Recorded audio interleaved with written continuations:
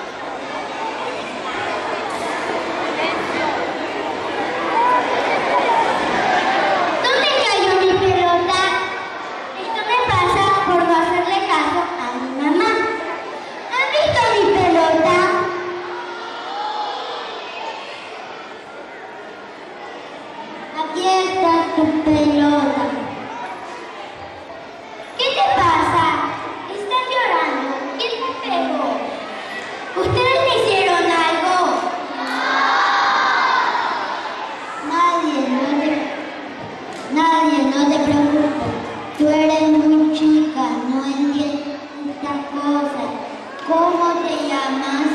Sheila. Pero dile